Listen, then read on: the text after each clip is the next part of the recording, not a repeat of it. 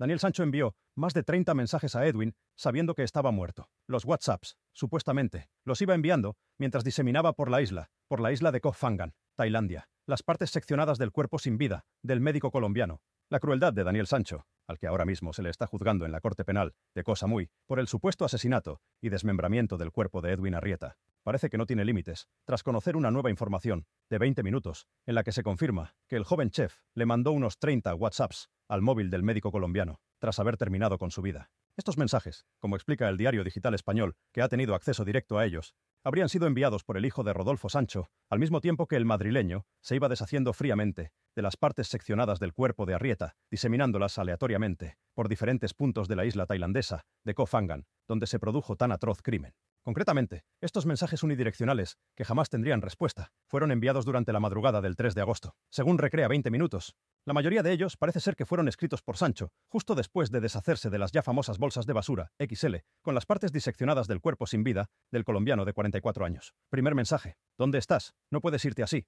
El primer mensaje sale del smartphone del acusado de crimen premeditado al hacer 1.56 de ese día 3. ¿A dónde te has ido? Tengo poca batería y no me cargan esto en ningún lado. ¿Dónde estás? No puedes irte así. ¿Qué cojones haces? Es, textualmente, lo que el madrileño le escribió letra por letra, sabiendo que el receptor había muerto, y su cuerpo estaba seccionado y oculto en varios puntos de la isla tailandesa, Koh Phangan. Pocos minutos después, reincide. Chiqui, ¿dónde estás?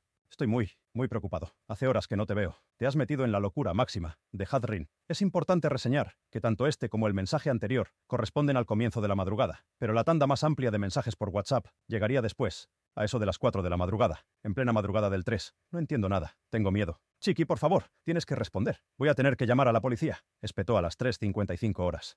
Chiqui, por Dios, espero que estés ahí y que simplemente hayas perdido el móvil o la bolsa. No entiendo nada. Tengo miedo. Había venido a buscarte a la playa que estuvimos antes, porque era el lugar que conocías, pero seguro que no recuerdas el nombre, y menos en este estado. Son muchos los mensajes, y todos van en la misma línea. Una dramatización que no le sirvió de mucho, principalmente porque él mismo decidió confesar ante la policía tailandesa al día siguiente, el 4 de agosto. Este fue su último mensaje sin respuesta. No estabas en el hotel, no estabas en el otro hotel. Dios, chiqui, has desaparecido demasiadas horas. El maquiavélico mensaje del nieto de Sancho Gracia fue enviado solo una hora antes de que una trabajadora birmana del vertedero de Fangan que por cierto, fue de las primeras testigos en subirse al estrado durante el juicio contra Sancho en Tailandia, tuviera que toparse con un inesperado y desagradable hallazgo en el que debería haber sido un día más de trabajo.